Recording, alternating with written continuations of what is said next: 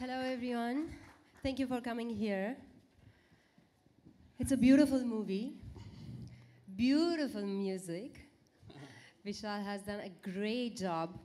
I really admire his work.